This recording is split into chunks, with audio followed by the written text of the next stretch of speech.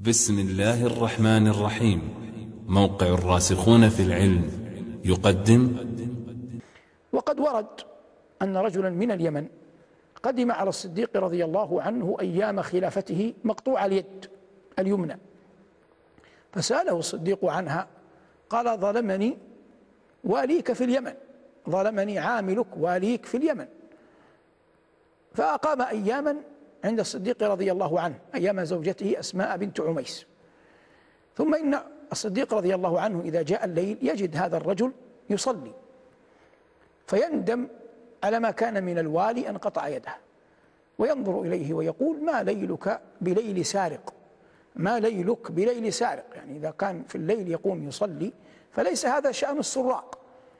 ثم إن أسماء رضي الله عنها فقدت عقدا من ذهب كان لها.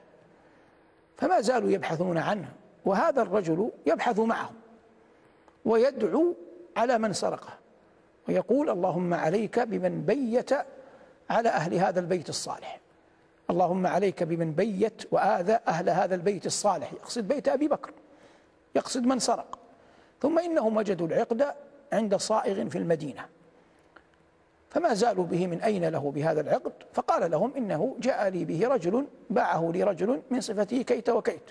فإذا هو نفس الرجل فما زالوا به فاعترف. فكان يروى أن الصديق رضي الله عنه يقول ما بي إلا دعوته على نفسه. يعني كان يبحث معنا ويقول اللهم عليك بمن بيت أهل هذا البيت الصالح وهو يدعو على نفسه. وفي هذا دليل وقرينة على أن الإنسان أحيانا صحيح. أنه معذور أن يأخذ بالظاهر يأخذ بالقرائن. لأن ليس لنا إلا ما بدا لنا من الناس. لكن العاقل يحتاط. وقد قيل لمعاوية ما بلغ من عقلك؟ قال لم أثق بأحد بعد لم أثق بأحد قط. قيل لمعاوية ما بلغ من عقلك؟